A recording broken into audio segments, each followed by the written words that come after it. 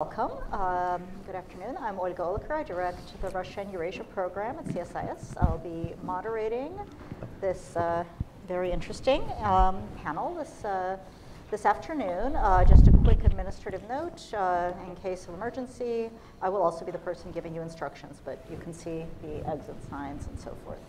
So um, thrilled, as always, to welcome Leonid Grigoryev uh, to CSIS. Uh, Leonid is um, chief advisor to the head of the Analytical Center for the Government of the Russian Federation, which uh, does a lot of the number crunching and thinking through things um, for Russia. He's also a professor and director of uh, Faculty of World Economy and International Affairs at the School of World Economy at the Higher School of Economics, and served as a deputy minister of finance uh, for Russian President Boris Yeltsin. He's also a very prolific um, producer of books, uh, papers, um, and fairy tales. And fairy tales. Um, you can check out his website. Um, but uh, today he'll be he'll be talking about uh, income inequality in Russia. Now, um, because we want to make sure that this is a discussion, we invited a discussant, uh, Yuval Weber, who is uh, the very first Daniel Morgan Graduate School Kennan Institute Fellow. Uh, he has been a, a professor at the Faculty of World Economy and International Affairs at National Research University, the Higher School of Economics. Um, and he's been an associate at the Davis Center at Harvard University um, and a visiting assistant professor at the government department there. Um, so I'm going to give Leonid the floor for a bit, uh, then we'll turn to Yuval, and then we'll have a conversation. So I'm not going to take any more time. Okay. Um, uh, thank you. Uh, well, I have long presentations, but I use CNN approach, not current CNN, the old CNN approach. Uh, so I'm showing some slides, uh, don't read them, and talking something different. Normally people can accommodate the conflict of information. Uh, but since 25 minutes for the presentation is a very short time, let me give three, four verbal conclusions. Uh, conclusion number one, uh, Soviet society was quasi-egalitarian, but the whole current uh, inequality in Russia formate, uh, uh, had been formatted in 90s, and it's rigid and didn't change during the upturn of 2000, early 2000, later, whatever. It's basically the same. It came with privatization, uh, the uh, crisis minus 43% GDP, and privatization, uh, which produced oligarchs. Everybody uh, in the academic circles love Russian privatization, but don't love uh, Russian oligarchs. I don't understand it. It's, it's the same process. It produced uh, private economy and oligarchs. It was this style. Uh, second point, of course, we are dependent on oil, and a recent, uh, recent and essentially uh, recession of 2014-16, it's so-called L recession. Uh, so the uh, steep decline and kind of um, growing, uh, but unstable growing. We had ups and downs. It's difficult for everybody. Informal evaluation of factor of sanctions, because it's inevitable question, was given by some one deputy prime minister in uh, at Valdai Club in Sochi in October. I'm not sure it was Chatham House or televised, so I, skipped his, I will skip his name. Um, uh, he gave it one percentage point of GDP, value of sanctions, minus, of course. Um, most of Russian economists consider sanctions as a miracle in disguise in many respects. I leave it for questions. Uh, I need to create and finally, we do have a problems with um, investments and consumption now on, uh, in the recovery, uh, but that requires certain demonstrations. Since I'm sitting my back to the presentation, uh, what I'm pressing, not sure. Uh, which, which button? Ah, by star. Yeah, ah, I see. It's unusual. Um, I will not even look at the, uh, everybody can read it in a few seconds. So Russian, uh, Russian economy, current Russian economy, uh, we have a, a debate uh, now between reformers and academics, how much the current market economy depended on the Soviet times, on the um, 90s, and on uh, later reforms. Uh, two things for sure. Uh, the key element of the market economy, ownership, was formatted in the 90s. And social structure reflects the uh, property rights and the distribution of property and corporate governance formatted in the 90s. For example, uh, we don't have any mass private uh, mass shareholding. Uh, uh, certain points in Yeltsin promised one million shareholders in a year or something like that. It never happened. We don't have shareholding. Um, control package in Europe, 53% on average, there is a book on it. Uh, in the United States, average 8.5% uh, first package. In United Kingdom, 14, in Russia, 75. So we don't have free float. Everything kept tight. So we don't have uh, financial markets.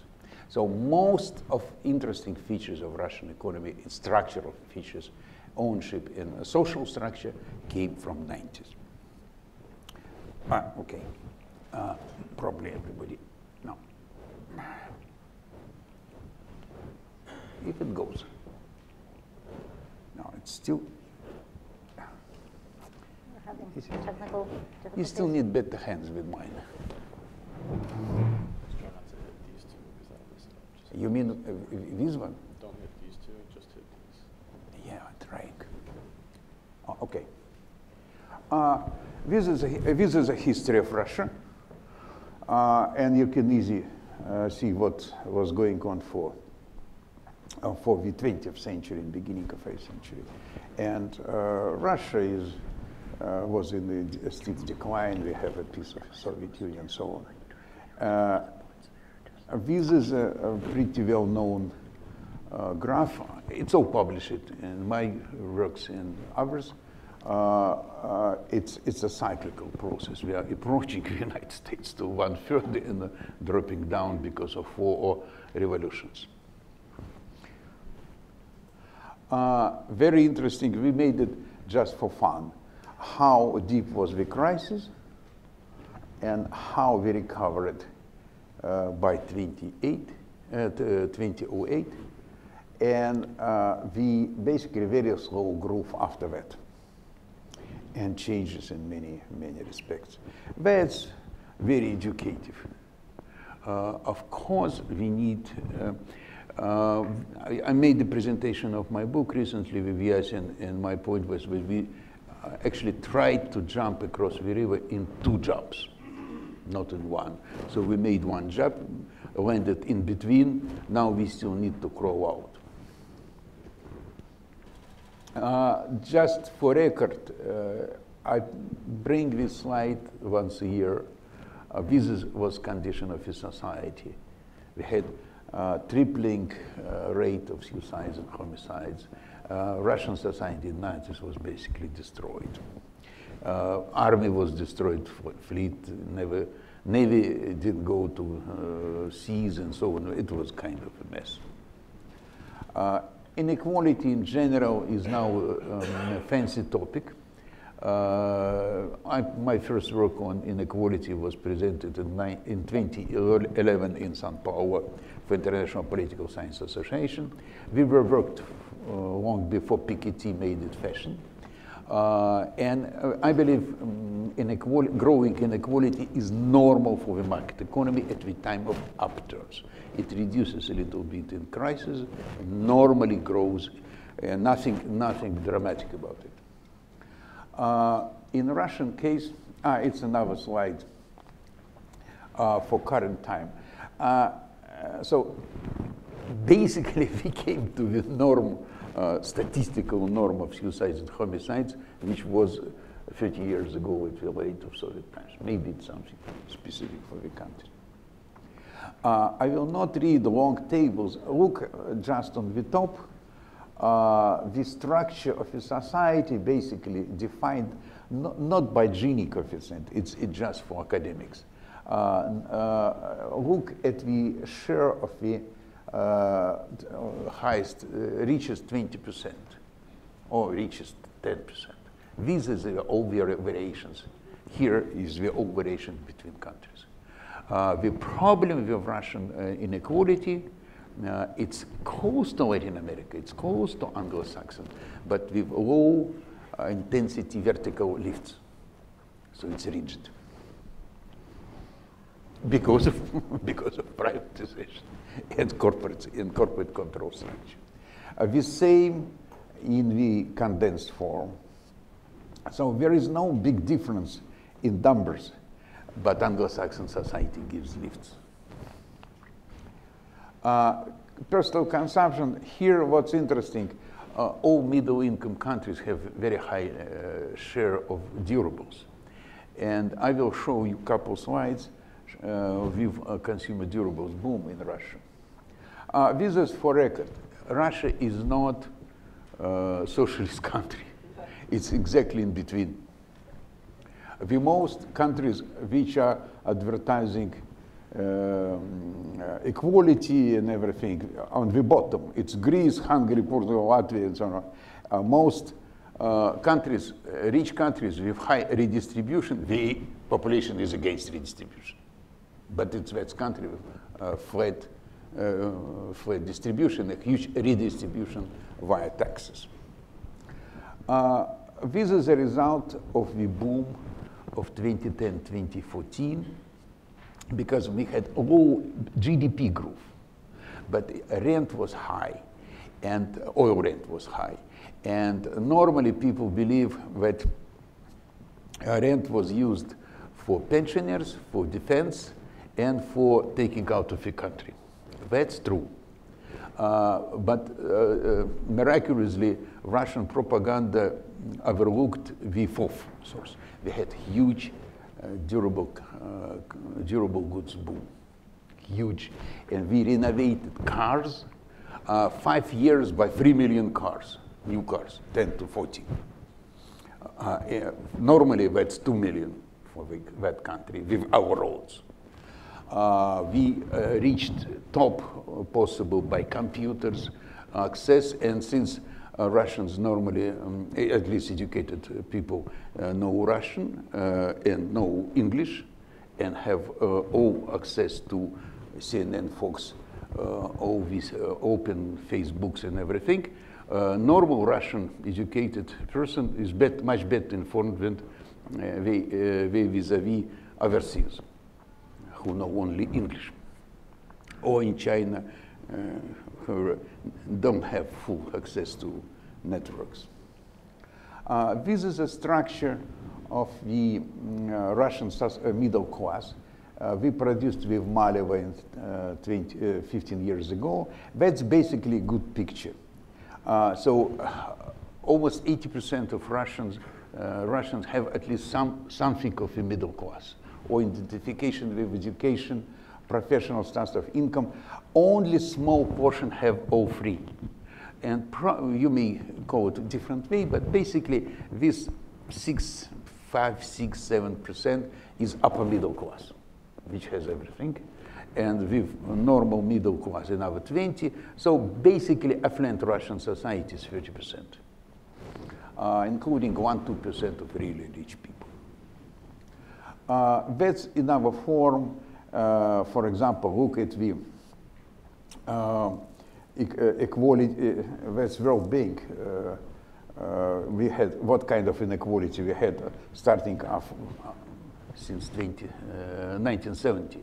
Um, World Bank publication of 1998 gave 3% of poor before the collapse of the Soviet started, and 50% of population of 70 million uh, by uh, 1993. And so we started with 50% poor, uh, went down to 10% poor by statistical standards, more or less internationally accepted. And with the last recession, moved the share of poor from 10% to 15%. Uh, this is the story. On share of wealth, uh, most countries, rich countries, worked uh, by centuries to create wealth uh, distribution with 80% to 1% uh, of population, 50% or 80% uh, for 10%. The Russians made it in one strike in 90s, like that, and that's it. And it's rigid. Nothing can be done easily about it. Eh, nothing can be done easily about it. I normally asked what to do about it, and I don't tell it because uh, I have a couple of recipes, but I know that people who want to redistribute property would use it in the wrong way. I don't tell secrets of that kind. Uh, social stocks up, and current crisis. Uh, this is general picture. BRICS, developed countries. Uh, this is Russian crisis today. Uh, basically, basically, it's very difficult, you see. It's very difficult. A uh, couple industries, big industries, growing, agriculture, more or less, uh, partially because of counter-sanctions and protection. Uh, mining, uh, all domestic. We, uh, for decade, we're already not talking about gray market, we probably produce much more uh, transportation services, construction services, and agricultural products when we register, but nobody cares anymore. Uh, this is uh, how it looks like now by 17. So flat, what is flat is utilities, but it's normally flat. Uh, mining up, uh, manufacturing difficult, and total not. So it's not very bright picture. Uh, but it's L, L, L recession.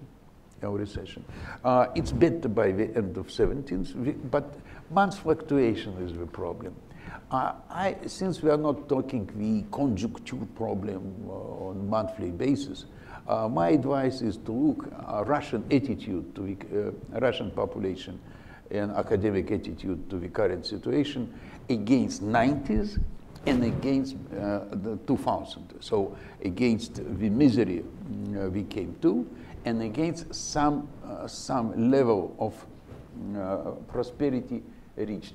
This is uh, what I wanted to show you on durables. Uh, we had huge durables boom, once more before the recession 2009, and one bigger after. And the most of reduction in consumption uh, for, came with reduction of cons in consumer durables, what is normal for any business cycle. Uh, and uh, of course, uh, poor people have very difficulties in crisis. Uh, what happened that during this boom of 2010, 2014, what is very important, some filtering of wealth, in income, wealth, and consumer durables came down to the middle of, of society, not just got stuck in top 30%, but probably to 50, maybe 60% from the top. Uh, so it's, it's hard to find anybody in Russia now without computer and access to internet, at least that part. And cars, basically, we definitely have uh, not enough roads for these cars. Uh, this is just small things. Um, we have decline of the real income, uh, continuous flat fluctuation of real income, and growing real wages. So government managed and private business managed to keep uh, up um, in the last year the real wages, but decline of some entrepreneurial income and uh, uh, slow growth of pensions uh, created this difference. This is this is CPI. That's interesting. Look at the CPI recorded by uh, standard forms. It's green, and perceptions, uh, expectation and perceptions. Uh, that's sometimes mixing in the, in the media. Uh, the perceptions are how people respond to surveys. Uh, green is how it's collected by uh, uh, statistical agency. Uh, and still, this is, it's the lowest inflation probably in the last 30 years. Uh, this is budget. Budget more or less balanced. Uh, of course, in, de in December, we always have huge payments for the year, so budget pays more. You, you see 17 uh, borrowed uh, again. Uh, I, I, don't have December here. We borrowed again. It's, it's, it's, it's seasonal. but generally, it stands at a pretty low level of about 20, 20 something percent of GDP. So we have half relation to GDP is probably half of America. Uh, the uh, income, uh, oil income to the budget depends not just on the price of oil in dollars. income of the budget depends, depending on the price of the barrel in rubles, because taxes are in rubles. Uh, uh, the minimum ruble price for barrel for the equalizing the budget will be about, about around 3,000 uh, rubles per barrel. So if it's $60 um, for barrel and 50 rubles per, per dollar, that's fine, or vice versa. Now it's 58 by 65, it's close to 3,700. It's about enough money for the government to balance the budget. Under current, uh, very strict limitations. Um, uh, analytical agency uh, I am representing, we are working for the, it's not, I'm not the government service, uh, but we are paid by the government to, uh, for everyday solution. We don't do any subsidy. We are working for only social economic uh, issues uh, non-stop. It's about 200 people working around the clock. Uh, and uh, for example, budget was cut in our agency, but not by us. We just organized uh, 40 working groups on 40 big programs. And we are working as a mm, kind of honest advisors. Mm, uh, sometimes if you there is conflicting opinions of the ministers, we have a working group, and we uh, take the records or something. As, a, as organizers, we, are, we don't have any power at all, but we have a lot of uh, professional capability to help the government. It's advertising, sorry. It's advertising. Uh, foreign trade. Since um, uh, import declined with, uh, even more than export in dollars, we are in positive uh, in terms of uh, trade balance. Uh, regional inequality, difficult to read. I leave this, of course, for everybody. We, it's very interesting. We made a lot of recalculations and we make a matrix.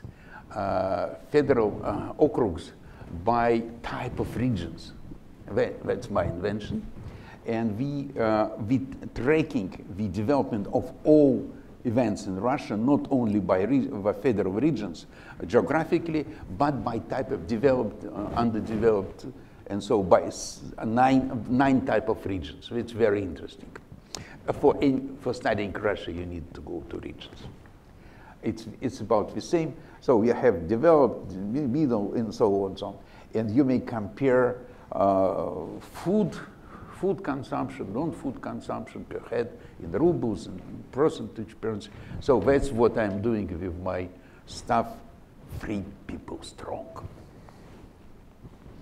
Recession and application, I have only one or two slides, probably I'm getting tired. Yeah. It's unbelievable. Yeah. So far, so good. I promised, but don't I, slow down. I promised.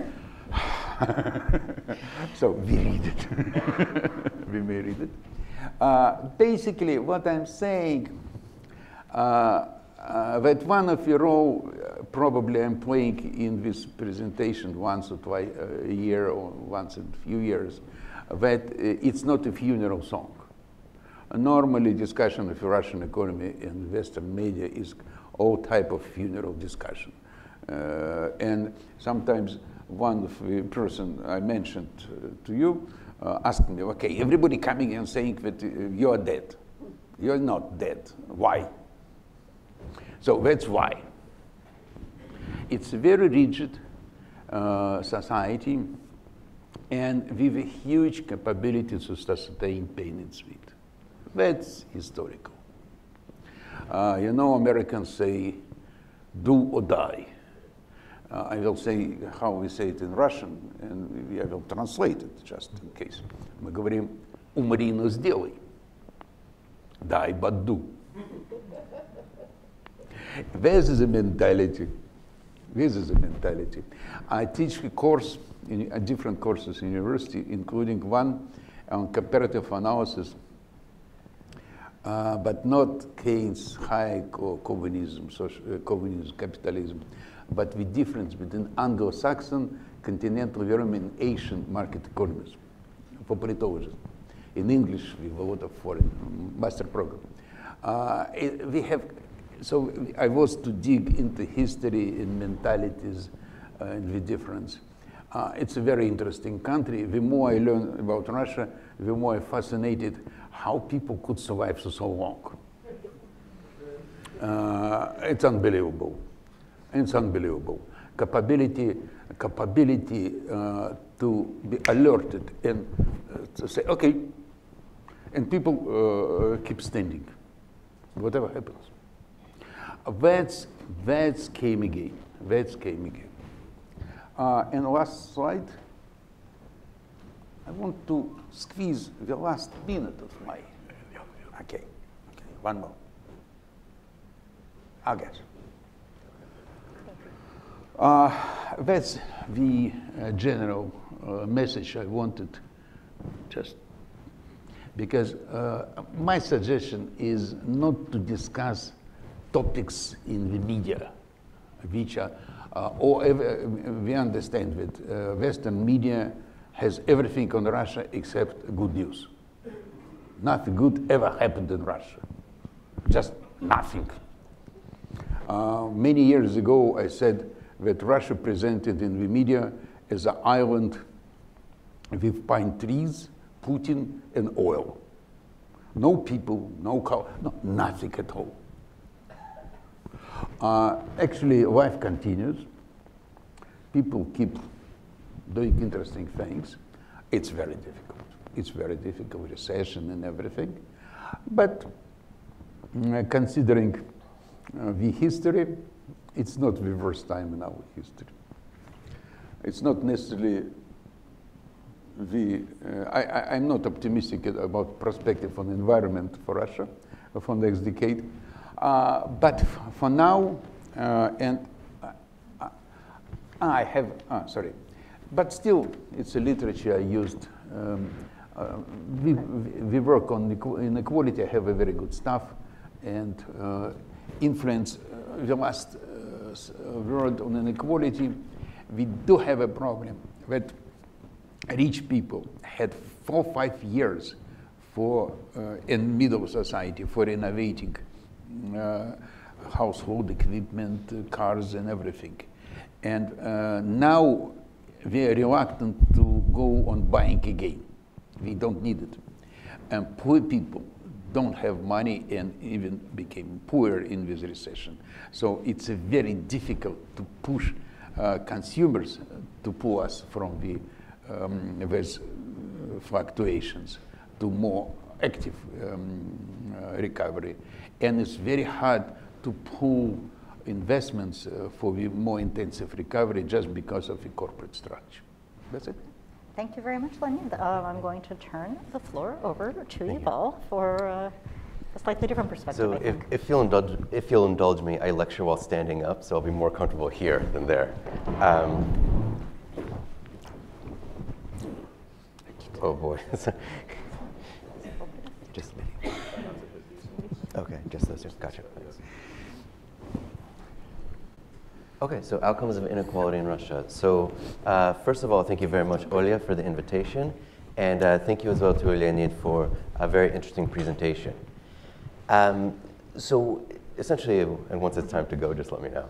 Um, in this, there is, uh, in the discussion about inequality in Russia, there are basically two questions that Leonid brought up, which I'd like to sort of uh, investigate further in terms of what are the political outcomes of inequality. One of the questions that was brought up here is what is normal for Russia? So we also have, you know, Россия не сдается, you know, Russia never gives up. So we have this ability to handle perhaps more inequality than other countries uh, would accept. And we also have sort of this general question of what is going on in Russia? Is this normal for Russia? Is this normal for the political experience of other countries? And you know, a few of the things that Leonid brought up. One is that widening inequality is in fact normal for a country going to a market economy. And that essentially the level of inequality and the political structure of Russia right now effectively resembles Latin America in lots of different ways. Um, and for those of you interested in Leonid's work, um, he has plenty of written materials, but he has an article in Strategic Analysis from 2016, which is really one of the most easy to understand uh, economic histories of Russia, which I encourage people to read. So, in terms of thinking about inequality, there's essentially two questions, or maybe one question that you can ask in two different ways. It is how much inequality is enough? You want some inequality to incentivize people to do stuff. But you could also ask how much inequality is too much? If it's too much, that means people think things are unfair. So let's see what sort of like the data also says uh, about this in Russia itself. So the main and I'll just have about 10 minutes of discussion so that we can leave as much time for questions as possible, is that inequality in Russia is highly visible. Uh, for those of you who have traveled there or perhaps are from there, uh, one can observe that from the Soviet period, which I did not experience personally, uh, but can certainly see the pictures from the Soviet period, see the pictures from the 1990s, and have lived there, at least myself, over the past couple years, one can see that there is inequality that exists today that did not exist previously. But again, how much is enough? Inequality forms a core aspect of Pres President Vladimir Putin's political coalition. And in this, what I mean is there are haves and have nots. And what President Putin has done is he's created those who work for the government and those who are basically on the, the lower ends of the economic uh, spectrum. And that's his political coalition. So, in effect, the populism that we see in things such as President Putin's May 2012 decrees this is the, essentially the direct redistribution to people at the lower echelons of the, the country, uh, as well as the people who are in government. Third, the inability to reduce social and income inequality is limited by the foreign policy choices. Uh, we're all familiar with what has happened in Ukraine and with Crimea. This puts a crimp in the Russian economy. That's money that's not available for redistribution. That's money that needs to go to maintaining a, let's say, vigorous foreign policy position abroad. You know, that's the cost of sovereignty in a sense. And the fourth thing is um, the key domestic consequence, and this is exactly what Leonid was discussing. The key domestic consequence of social dissatisfaction is increasing attractiveness of populist positions. Populism is a normal consequence, so to speak, of rising inequality. Here in the United States, however President Trump has actually governed, certainly his key message during the campaign is that inequality exists. My opponent is not paying attention to it, but I'm paying attention to it, um, and I am uh, addressing your economic anxiety. So, in a sense, where there is rising inequality, there is a populist outcome. So, I apologize if it's uh, difficult to see in the back. Um, but in a sense, this is, uh, and this is the from uh, Piketty and his uh, Zucman and their co-authors. This is from the World uh, Inequality Report, uh, the, the next few slides. So here we see average national income per adult in Russia and Western Europe, 1980 to 2016. So we see that although Russia was less wealthy than Western Europe, and that continues to be the case, and it declined in the 1990s, it has become far wealthier today again, I was not there during the Soviet period, but have been to Russia and the regions right now. I cannot even imagine what it used to be. But right now, middle income country, things are mostly fine. And so what we see is uh, that Russia has gained on Western Europe and sort of keeps that track.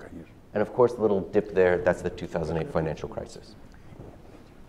we also see that a key social achievement of the USSR, social equality, has been reversed. And what this graph shows is this is the top 10% income share in France, Russia, and the US, 1905. So for those of you who are interested in history, the name is Witte Stolypin. From their era, when they were trying to reduce social inequality and income inequality by giving land to the peasants so that peasants would own something and have a stake in Russia's future, the unhappy outcome of the Stolypin reforms helps explain the sort of growing populist demand for change, which you know, one thing led to another. That's the Bolshevik Revolution.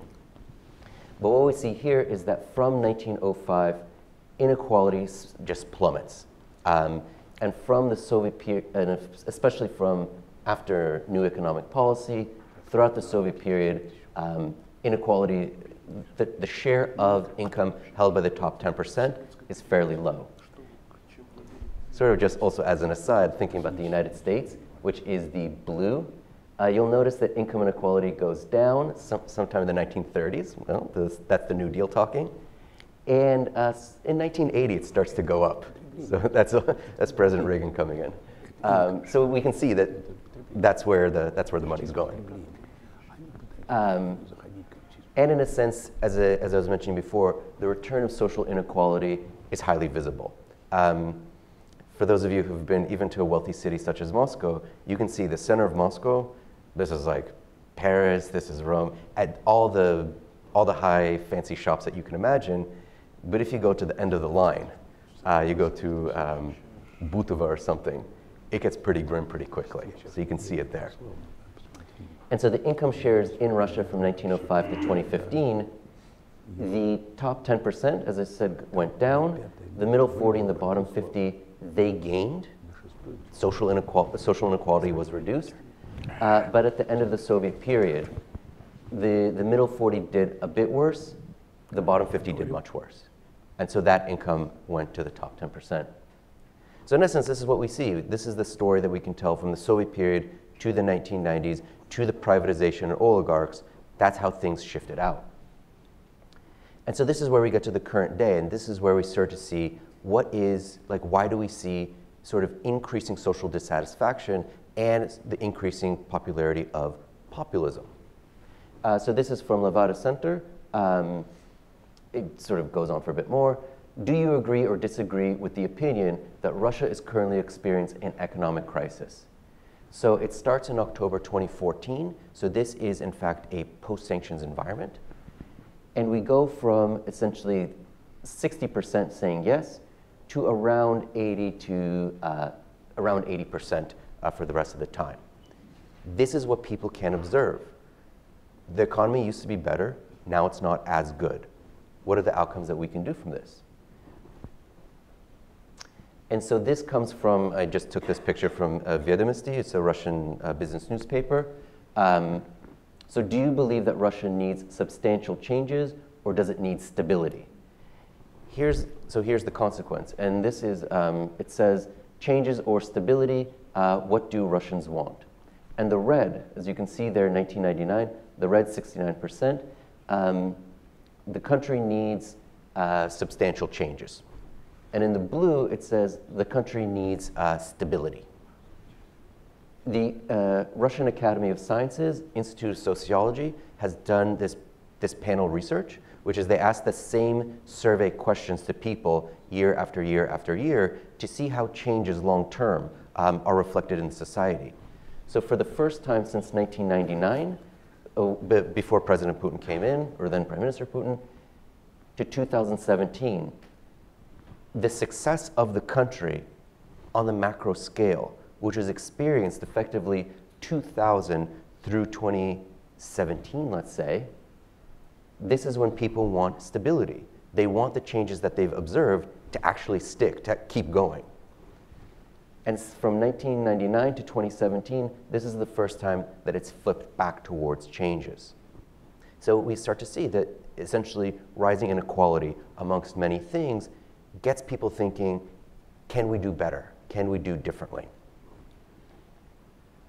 And so this is just the same thing, but I just translated it, um, but I explained it. Um, and so we start to see what are sort of the cracks in the political coalition. Um, for those of you who follow Russian politics, this was um, sort of a sort of big to-do or big sort of scandal uh, last year. Um, and the sort of anti-government activist or political candidate uh, Alexei Navalny, uh, and just to be super explicit, Alexei Navalny is outside of the political mainstream. Um, he's had legal, legal difficulties, whether they were imposed or self accepted, but he will not be running for president uh, this year. He keeps wanting to run for president, he keeps wanting to enter politics, uh, but so far he's not been allowed to. And one of the reasons that he's not been allowed to is that he brings an explicitly populist message. His message is effectively, you can say two, two things about him. One is that he's against government corruption, and two, that he's for revising essentially Russia's relationship with the near abroad and the West, particularly when it comes to people from Central Asia and the North Caucasus. He went from being fairly unknown person to using the phrase "Khvatit karmit Kafkaz," stop feeding the Caucasus.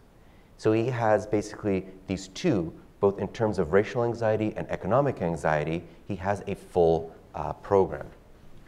And in this, he used drone technology and some forensic accounting to show that there is a very good chance that Prime Minister Medvedev has done extremely well for himself in terms of real estate and yachts and so forth. This caused a huge number of protests across uh, the Russian Federation, sort of one of these huge um, spontaneous protest movements. So, you know, and that's going towards the political coalition of, the, of President Putin. And the reform plans are limited by foreign policy choices. Again, with Ukraine and Crimea, we, we, we could sort of discuss for a long time good idea, bad idea. But the point of the matter is this has happened. This is extremely important to Russia's definition of sovereignty, of national dignity. And so, in effect, Crimea, which used to be part of Ukraine, which is now part of Russia, and the Kerch Strait Bridge, which I wanted to highlight, in order to have a physical symbol of bringing Crimea to reabsorb it back into the Russian Federation. This is an acknowledgement that uh, a number of the sanctions, uh, an amount of the tension with the West, that this is something that Russia and Russians, Russian leadership is willing to hang on to. That, you know, as, um, as Leonid des- described before, there's a lot that basically Russians will accept that perhaps other countries won't. That's part of it. That willing to hang on to Crimea is that important. Um, and so part of, so, you know, reform plans limited by foreign policy choices, and just to show what is at the current moment outside of the political mainstream, and this is my last uh, slide, is these are a number, I just took it directly from Alexei Navalny's, um, his campaign manifesto. So as I said, he is not going to officially run for president, but he is running on this anti-corruption platform, and his actual, you know, policy promises um, are explicitly populist. If you look at, you know, post-World War II uh, Latin America, you'd see this. And th- there's a number of things about redistribution, like directly from the rich to the, to the poor, but just what I bolded for you, um, fighting corruption through expropriation, directly. This is the first Russian politician to call for expropriation since, uh, since Lenin, just to show you this is where he's, these are the buttons he's pushing. Through expropriation of state officials, reducing the state bureaucracy, cutting subsidies to state corporations, raising taxes on the gas sector, on dividends paid by state companies, on previously privatized state resources, and on luxury items. And then finally, uh, reduce or eliminate state officials, law enforcement and judicial officials, and mass media, what he calls propagandists. This is expropriation, this is lustration.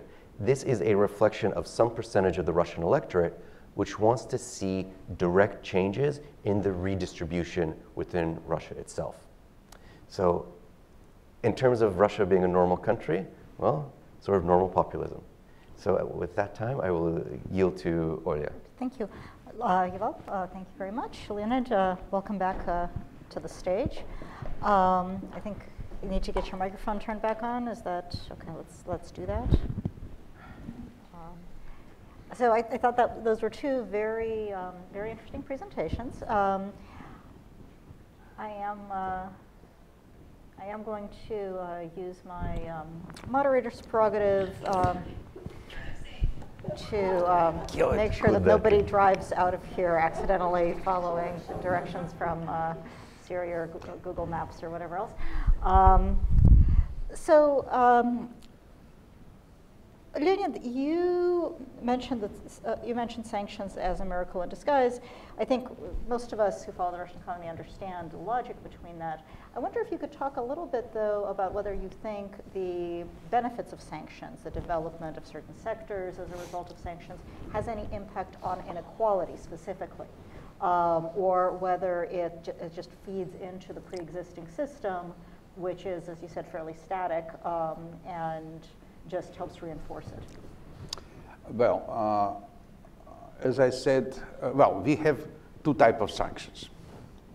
Uh, one part of sanctions is financial, which is normally difficult because it's, uh, we were cut from access to the low interest rate uh, borrowings.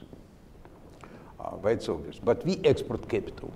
So we, if we have a problem with finance, it's because we don't use our own funds properly. We don't borrow much. Second, uh, technology sanctions, which basically we read like an attempt to prevent us from becoming more advanced technological country. Uh, for this case, it's definitely a miracle in disguise because we could sleep out. Uh, now everybody woke up and countries very, for example, we never, uh, Russian oil companies just borrowed uh, technology, purchased technology from Halliburton or um, this French company, uh, Schlumberger. Uh, Schlumberger? Schlumberger. Uh, but we, wait, wait, wait, wait, ice cream. It's not. Schlumberger. Fabergé? Fabergé? Huh? Yeah, it's French. Yeah, it's no French. No anyway, okay, anyway, along. a company was doing, uh, do, uh, was making two billion dollars a year in Russia. So Russian oil companies just purchased technology and stop uh, and stop paying uh, to uh, research and development uh, institutes in Russia. And I, I was present for decades for complaints of Russian Research Institute in technologies that we are losing the capability to drill uh, because companies are buying ready equipment from the West. Now everybody doing something. Nobody knows anymore because it's now kind of problem of security and surviving the country. So people switched to thinking and alerted. In this uh, respect, that's the, ma the main result of sanctions. People started think and fight psychologically uh, and trying to do something about it. It has nothing to do with inequality, of course. Uh, um, Putin's uh, government tried to uh, raise salary of uh, state services, uh, but main inequality, of course, coming not from the state services. It's, it's, it's big. we have 40 huge corporations mostly for private and state, and we have inequality inbuilt in them, of course.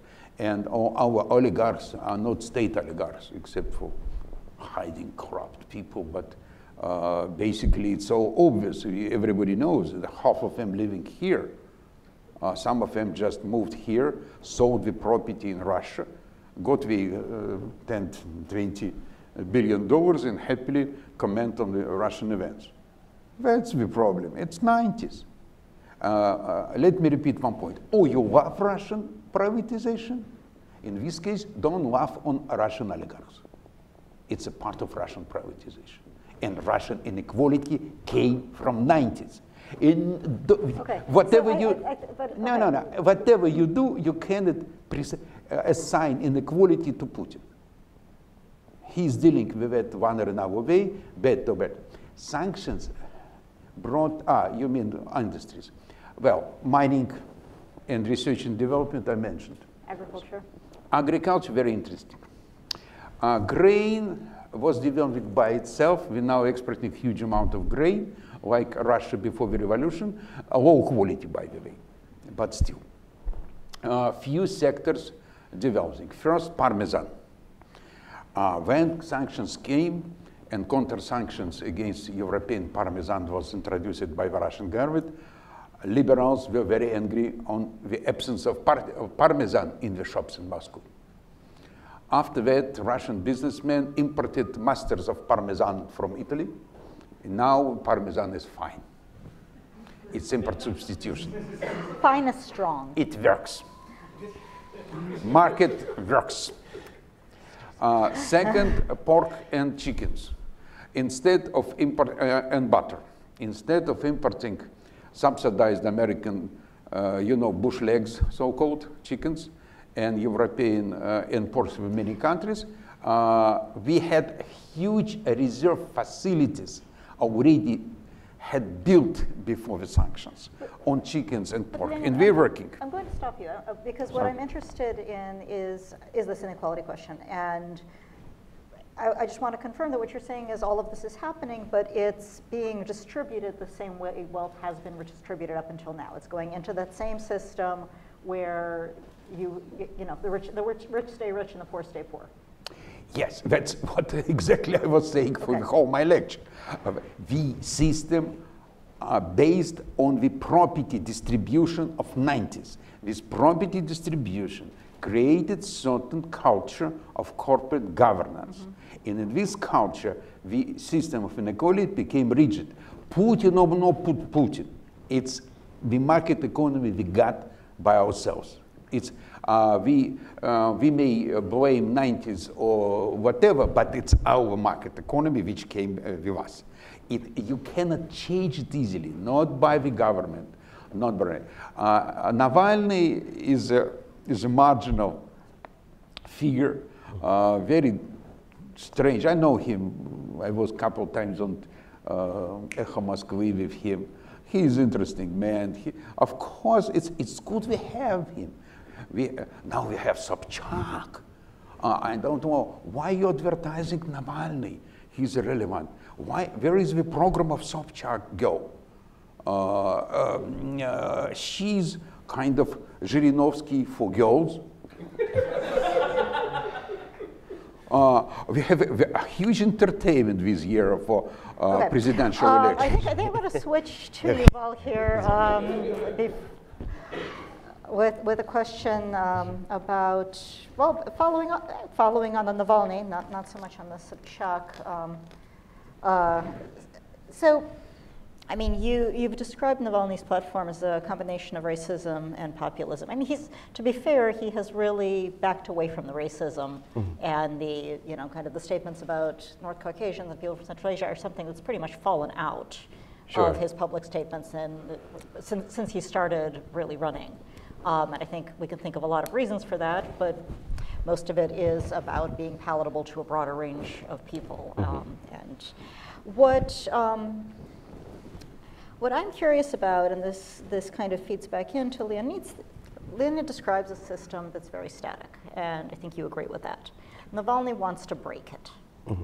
Um, do you see alternatives to Navalny's populist approach to breaking it um, coming out of the state at all, or do you see the static uh, nature of the Russian economy continuing?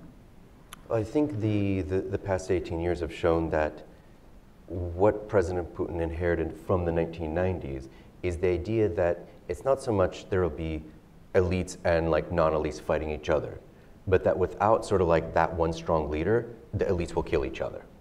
And so what I believe that sort of Putin has not just said, but sort of what people uh, say of him, including insiders, is that his one big thing is to adjudicate disputes at the very top so that they don't spill out into the different social classes or actually onto the streets.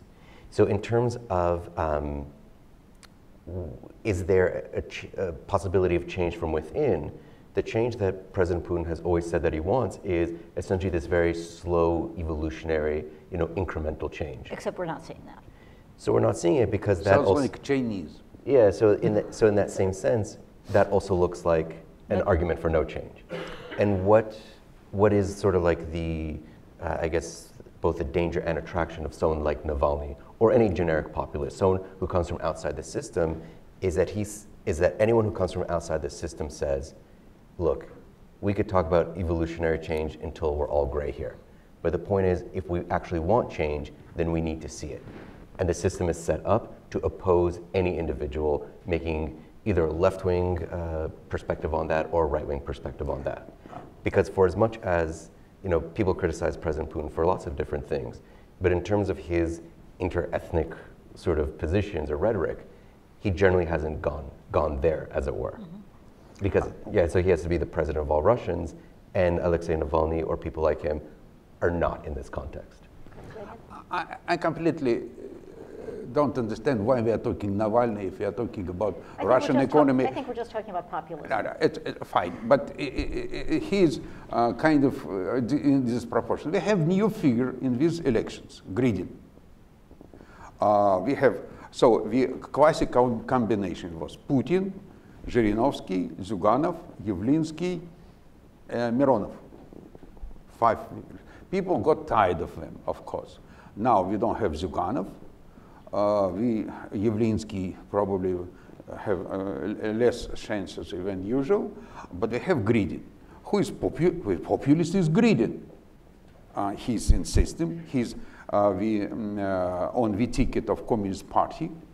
Uh, so we have left populist, what is normal for the country with our background, instead of extremely boring uh, Zyuganov, he's kind of uh, what, uh, and ex extremely um, energetic uh, Zhirinovsky. We have a Grudinin who is populist, anti-oligarch, uh, much more uh, reliable. He's successful um, uh, manager uh, in farming, and and he's completely has no deviation of, from Putin on foreign policy. And that's it. This is a, this is a campaign. Forget Navalny. Why you need this entertainment at all? Do you want to respond to that? Just one of them. Okay, so I'm going to let you all respond, and then I'll go to so, all of you in that general sense, you know, not to say that Navalny is this key political figure in Russia right now, but in the but the general point I think of what both Leonid and I would would agree upon is that in this general sense, the pie is shrinking, and there's there isn't social agreement that the social contract is being maintained. No, no, no. And like that, and so in that context, that's essentially what provides this political space for populism writ large. Well, uh, Olga, we are talking economics or politics here. I don't think here. thinks there's space for populism. We are, talking economics well, or politics. what I would say is that the pie is shrinking. So it's not. It's not. Pi is not shrinking. Okay, so pi is either shrinking or not shrinking. Yeah. Let's open this up for discussion. Um, already right here in front. Yeah. Uh, please wait for the microphone. Please uh, say your name and affiliation if you have one. Please make it a question. Um, I'm Dr. Mindy Reiser. I worked in uh, Central Asia and the Caucasus. I'm going to ask a wonky question about methodology, okay? We are concerned in the United States that the census in 2020 may be politically distorted. I don't need to go into that. I'm curious in terms of the integrity of the data that you work with. How is it collected? Who are the people who are doing it? What kind of constraints there are? Your work is very impressive, but I'd like to dig under it and see how it was collected and organized and verified. Thank you. Thank you. Uh, uh, very simple what is inside Russia, normally collected by statist Russian Statistical Agency, uh, we don't have big complaints about it. We, are, we have a lot of questions, how we do this and that, but there is no general uh, suspicion of manipulating the data. What we did, but it's transparent, we changing once in 10 years and five years with proportions uh, how we calculate indexes, but it's all agencies do it. Uh, so it's not difficult to learn how we just call them uh, or buy the data from them and we will show you how we what we're doing. Second we definitely not covering everything produced in the country. Uh, but it's for no clear reason, for years I never heard about uh, gray area or uh, non-registered. But historically, plane, pictures from planes of uh, uh, land and use uh, gave much more acreage than collected by did. So definitely we underestimate Russian GDP and Russian, especially agricultural production. What is basically uh, areas of hidden, of hidden output non-registered? Construction, transportation, agriculture, all around the world. We definitely have it. And the more taxes, the more difficult tax, more Italy of 60s, hiding some production. Second, uh, GDP per capita in PPP in international dollars. That's not our job. It's job of international organization. They recalculated all the numbers in 2011, and now we, you saw we jump in on this uh, uh, because it's a jump uh, from two different estimations. Before uh, 11, we were 16,000 dollars per head GDP per capita, PPP in, by international. Now, out of a sudden, it's 24, 25. How it's constructed? Uh, we calculate numbers, but we make additional estimations on the use of housing, on housing, education, and healthcare. Uh, so it's imputed uh, output.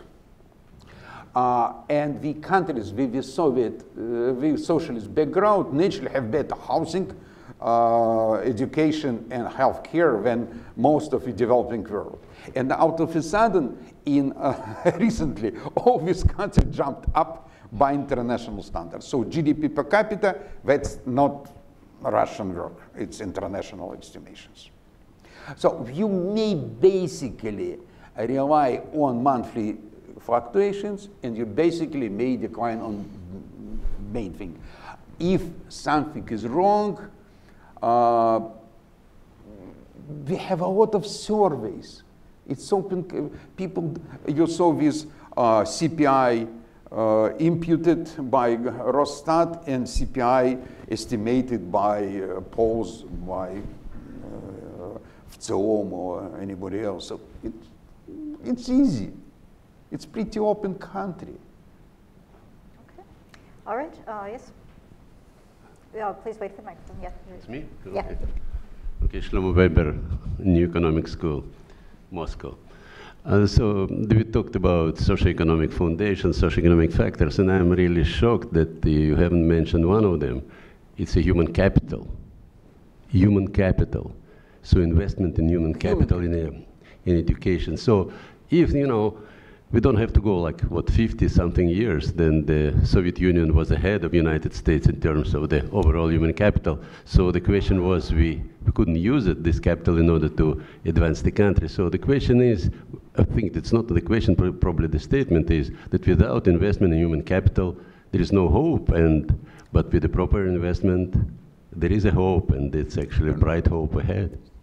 Well human capital situation is the following uh, schools are slightly down because of reforms. I don't like Russian educational reforms in high schools. Uh, introducing the standard exam helped uh, some provinces, uh, but damaged the best. So I teach first, I teach, I give enormous number of lectures to first graders in bachelors to cure them from uh, high school exams because we're learning something uh, like in old Japanese school, uh, just to memory a lot of things for exams. That's nonsense. It's good for average. It's very bad for best. But best is very survivable. So I teach, I coming in the first of September and say, I will cure you from your exams in few months. You just forget it everything, and not, not forget, because you learn to make it for crosswords. I will uh, teach you how to use it in connection. So, children are the same. Children good. School slightly down on the average. Best schools are excellent. Universities, it's a problem, but Uh, there is a, re a recombination and best, best students now in Moscow, mostly Moscow, not even St. Petersburg. It's a bit, they will kill me, but it's true. Uh, most, it's a High School of Economics, Moscow State University. It's a huge queuing. Um, Middle East biological laboratories in the United States speak Russian, educated in Moscow State University. Uh, Germany uh, has plans to import thousands of Russian engineers because we keep producing them. So this side, we don't use them properly. So we keep exporting brains. We export oil, money, and brains. Uh, we, don't know, we don't do anything else. But we're still doing brains, and we'll keep doing brains. Uh, there is financial trap for, uh, on my students.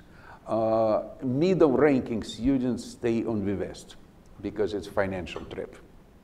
They cannot come back for the same salary. Who is returning? The very best. Because we are Russians, we don't have now career. Only who immigrated in uh, 90s, 90s, we made a career on the West, that's fine with them. Now, uh, attempt to make a career on the West are difficult for Russians, so the very best of my pupils are back to Moscow. I am completely happy. Thank you for sanctions. Yuval, do you have anything to add to that? Uh, let's carry okay, on. let's, um, okay, are- in the front. uh, Cyrus has, yeah. Good afternoon. I'm Ariel Cohen, the Atlantic Council. Um, the description you provided, um, Leonid, and uh, Yuval's uh, commentary uh, made me wonder, looking forward. Um, the, the descriptions were very interesting, analysis was interesting, but it makes me wonder. And when I travel to Russia, I ask myself the same question. Okay, Russia brought itself up to be a major importer of oil and gas. As Mr. Putin said, the energy superpower. Russia is exporting other raw materials as it did for centuries. Russia is exporting brains as it does since 1917. What are the foci of growth going forward? Where is the robotics? Where is the fi- fintech? Where is space?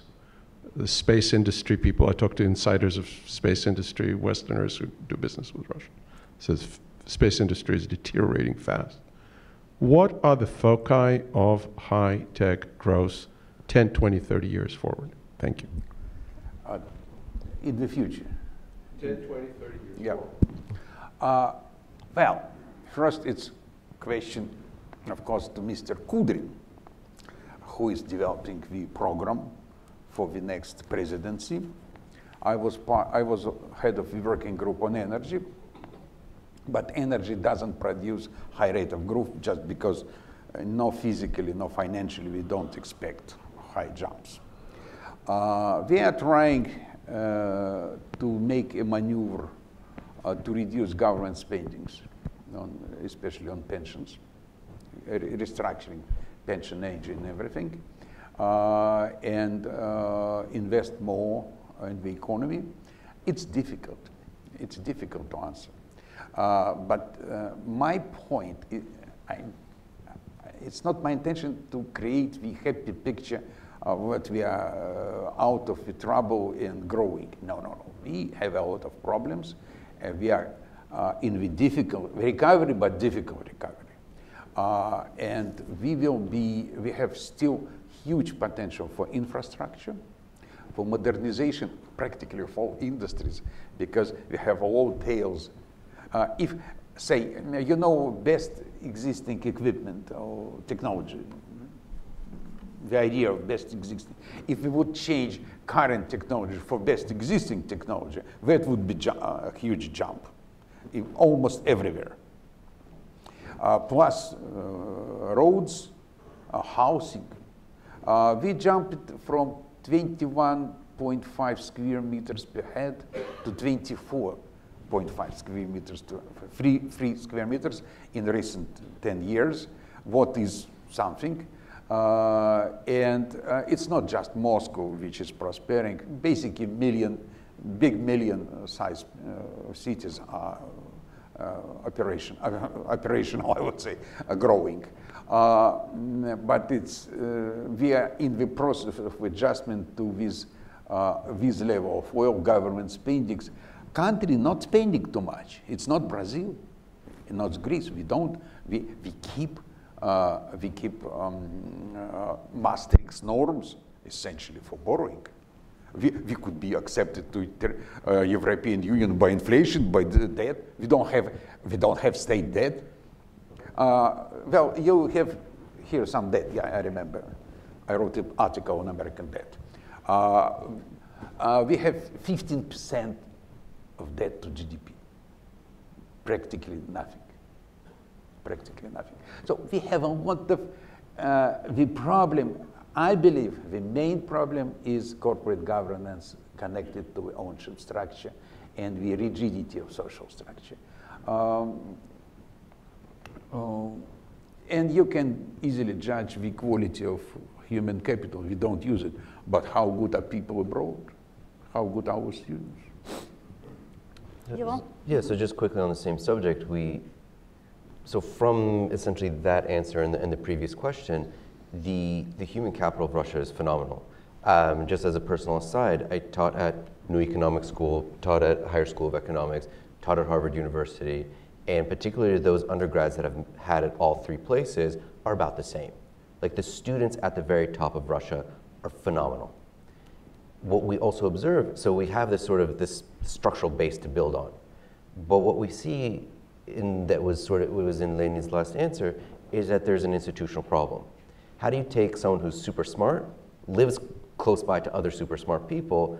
That's how you should get the agglomeration in order to build something bigger, particularly in IT and all these other sectors. And you see these, these, these companies and these sectors start to come up, and essentially they don't develop. And so what we observe, particularly with like these really high profile persons like, like Pavel Durov, who is uh, this IT, you know, I guess this, this IT superstar in Russia, is once he got too big, he ran into difficulties. And so that's essentially that middle level where the companies don't take off, where the sectors don't take off, is where the talent is there, the enthusiasm is there, there's sporadic amounts of funding coming from the government in different projects, but it isn't able to go all the way through. And that's, I think, where, you're, where essentially it dies on the vine just effectively in the middle of things. Okay, let's, um, Uh, Wayne Merry, the American Foreign Policy Council. A technical but nonetheless substantive question. When you use the, a Gini coefficient on income, are you using that of unadjusted market income or adjusted uh, income adjusted for taxes and transfers? I ask that because in a number of other countries, including the United States, place like South Africa, the difference between those two uh, Ginis is often quite dramatic. So, are you looking basically at market income or are you looking at consumption? Uh, it's a good question. I believe it's income uh, for a start. It's income, not, not consumption. Uh, but what is important, uh, Gini is convenient coefficient for academics but it's for some, because it's, uh, everybody knows what is it, we use it. Uh, correlation between the share of 10% in income to Gini, roughly 0.9 globally, if you take by countries. So basically it's the same. But it's much more educative, uh, share of 10 decile is much more educative because you can see it, just not hidden by some coefficient. For example, South Africa, you mentioned, uh, 10% of population are white people, and they have 52% of income. It's a global record. Uh, uh, normally, if you look uh, carefully, uh, it, I call it the, the enigma of, uh, enigma of the ninth decile. Normally, all around the world, the ninth decile is 15% of income quite rare 13 or 17, normally 15. So as soon you have 32% for United States, or 33%, plus 15, it's 48. So the whole variety you have in the for the rest, 80% of population, just give it to Gini. Really, the whole uh, inequality sits with the 10% of the richest 10%. Yuval, do you have anything to add to that? No? Okay. See if we can get more questions. Let's, um, yeah, I'm actually going to take uh, three questions and then we'll bring it back to the audience so that we have time for more. So in the back there, gentleman in the black. Hello there, uh, Kevin Doyle, master's student at Harvard. Um, I was wondering, you mentioned the regions obviously are a huge part of the, the inequality picture. How do you think the Russian government is proposing to develop the regions in an equal way? I mean, obviously you talked about Moscow having the best and brightest, but how do you get that out of places that are not Moscow? Okay, let's take two more. Um, Jeff? Thanks. Jeff Mankoff at CSIS. This is really a question I, more for Yuval, but I'd be curious to hear from both of you about it. Um, Leonid, you mentioned that inequality has become sort of a structural feature in Russia and that it's relatively baked into the way that people's expectations are structured. Whereas Yuval, your, your perspective was that this actually is more of a political problem and things like Navalny are indicative of, of how inequality is becoming a political problem. So, what I'd be curious to hear from you is, apart from expropriation, um, what are some concrete steps that a Russian government could take to address the problem of, of inequality?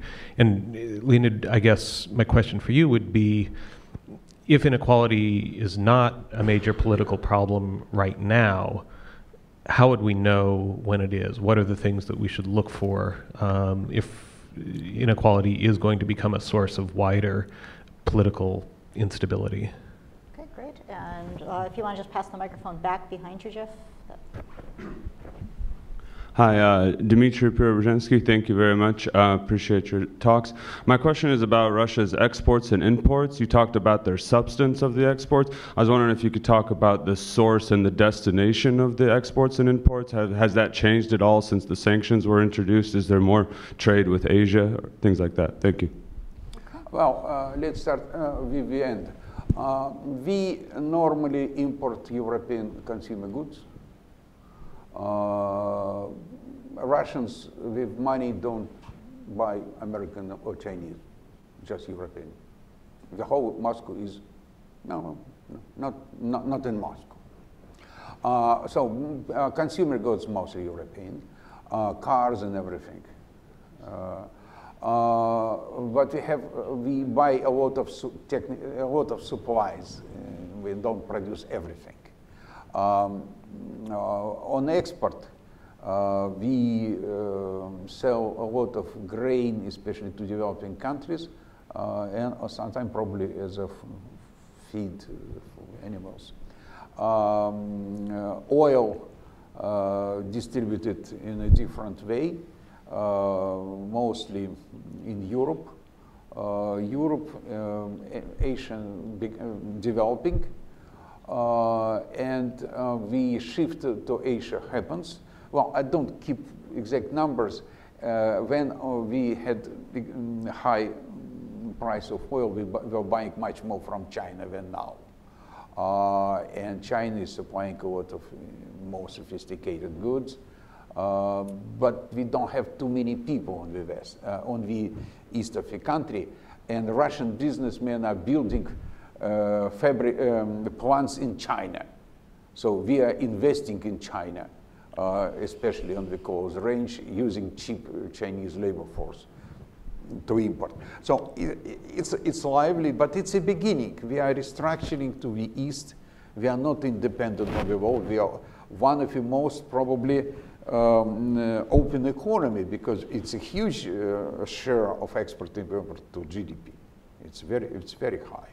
Uh, so for us, adjustment to uh, low price of oil, sanctions, uh, regional limitations, expected possible regional limitations are difficult. We are working on it. Now, on what government can do about inequality and regional inequality. Regional inequality is being handled in a very simple, straightforward way. Uh, government invests a lot to North Caucasus, no, South Russia, North Caucasus regions, and to far, uh, far east to Pacific regions. So a, mon- a lot of money moves there, and for consumption and for uh, investments. And uh, with mm, uh, my, uh, my methodology of um, uh, watching regions not only by geography but by uh, type of regions, it's very simple. All the, uh, all the business fluctuations only in the rich regions. So poor regions don't experience uh, business fluctuations. It's flat because we are subsidized uh, from the rest of the country. It's flat situation or better. It's strictly by size on region. On inequality, government is reluctant uh, to go on big redistribution of income. Uh, let me remind, we have 13% flat income personal tax. 13%. Uh, government tries to put tax on these, on that, um, on businesses, uh, but still doesn't touch it. And nobody will touch it, I believe, before uh, 20, uh, 2014, uh, 2024. I mean, mm-hmm. not before the next next president, whoever he is, as Obama said once. It was whoever she is, but whoever he is, uh, because it's definitely not for presidential elections now. Uh, I would uh, move uh, tax to 20, uh, from 15 to 20, people would live with it. Uh, but nobody would touch it for, now, for, for, sure. By the way, all these populists talking uh, all this uh, general nonsense, let's liquidate bureaucracy, let's fight corruption, nothing, spe nothing specific, interesting. No, uh, communists never suggested nationalization. nice, uh, I would say, home communists, never asking for nationalization of a big property. Fine. Uh, nobody uh, suggesting, um, actually, there is no issue of progressive tax in the elections. And nothing like that. So uh, it's not the redistribution. If we are fighting um, inequality, we must create uh, what actually uh, Ariel was asking about. We need to create industries, enterprises, jobs, and to move people up in income according to education and the quality of production. Yeah, and uh, if I sort of can answer Jeff and Kevin's uh, questions together, or at least address them together. Um, so I've been working on this book on the structure of economic reform in Russia from like the Stolypin period to the present. And so part of it was looking at what is happening right now with the current economic reform program. And in front of President Putin, President Putin has gotten three different, basically, points of view together. One is like this super, um, like classical liberal a plan from Alexei Kudrin. Uh, Boris Titov and Sergei Glazyev have this sort of very loose money, just the government needs to intervene in everything. And Maxim Oreshkin, who's the current uh, governor of uh, economic development is basically stay the course. So you have, was it? Minister. What did I say? You said governor. But oh, pardon me, minister. He's a, he's a minister. Um, we're, the, we're the same age, so I'm doing great. Uh, so, um, but in all, but in all three, I was looking at their direct programs and trying to see was there any actual overlap. And literally, the one thing that all three, from basically all across the political spectrum, the only thing that they all agreed upon was the number of inspections that a business, a physical business, can be liable for is excessive. And so at these small, medium, and even large-sized enterprises, the ability of a fire inspector or a health inspector to walk in and basically call for a full inspection of everything, thus providing either a, a difficult economic choice or basically an opportunity for this particular inspector for self-enrichment. That was the only thing that every single um, economic plan held in common, that that's a thing that can change. Uh, so, so if I may. Um, so in terms of what, what are concrete steps, basically if the government can follow that particular point, which all three said. In terms of what is the regions, what we've seen is that within sort of like regional inequality, you just have pockets of the country which are not connected to the international economy. So a thing that two of the three had suggested is basically like here in the United States, throw internet and broadband access to places that are more remote so that you can leverage the human capital that exists in a regional city or in some village, but which is not connected basically to the world economy, get those people online so that they can contribute, have online businesses. Are they not online? I mean, when I've traveled through Russia, people are online. They might still be walking outside to use the toilet, but they've got the internet set up. So that so that level of access is is inconsistent, and that's the sort of thing that can be that that's like a policy step that could reduce inequalities between regions. Uh, one technical remark on the difference between free names and free programs. Kudrin was charged with a special task to create the program for 2018-2024 for the next presidency, whoever he is. Uh, Oreshkin uh, became minister out of a sudden because of Ulyukayev case. And uh, as soon as he adjusted himself, he's the first minister educated in high school of economics. We are very proud. Uh, and he's very young. Uh, he has a mandate to produce strategy, economic strategy for Russia till 2035. That's his job. Uh, so what is happening essentially in Moscow is attempt to create on one side the program for the next presidency and to make it, as we were instructed, in a way consistent with the uh, 2035 horizon. Uh, it's still not finished. We don't have, uh, it's all delivered probably uh, up with, uh, on the high level, uh, but we will see close to elections and right after elections.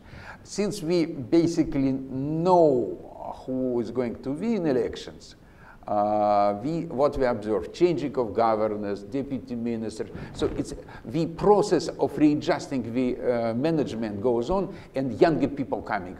We have more, what's good maybe, good news is that we have more uh, people age 35, 40 coming from nowhere.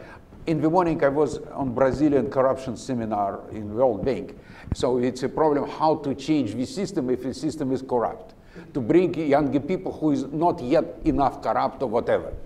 Uh, so what we observe is by bringing more techni technical stuff, uh, professionals not connected to big companies, to, uh, to big money. So um, to create the management in regions and in the uh, central uh, ministries, uh, not connected to the other sources of income, or history, without history of uh, connections. So that, that's what is happening on bureaucratic level. We will see how probably next president by spring will come up with the strategy of with six years or maybe uh, he will allow Minister of Economy to bring uh, directly to 2035. Glaziev is a voice without a program. Forget it. Uh, he's interesting man. I know him since he was a student. Uh, he has certain position, he has no program at all. It's just a manifesto. Uh, because he has nobody who is sitting, working, no money working on him. That, that, that was just uh, um, uh, in newspapers. On that um, rather uh, pessimistic note, um, I think I, I think we're out of time. So um, I would like to ask the audience to join us in thanking our uh, presenters today for, I think, a very useful and well-informed conversation.